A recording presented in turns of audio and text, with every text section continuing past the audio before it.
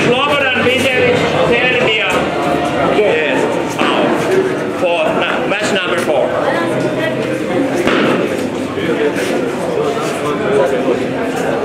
Thank you.